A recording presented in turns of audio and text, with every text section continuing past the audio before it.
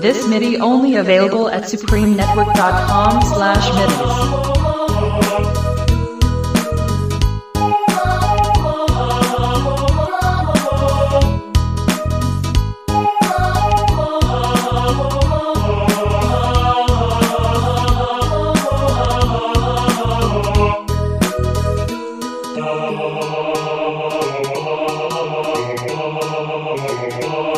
Oh Thank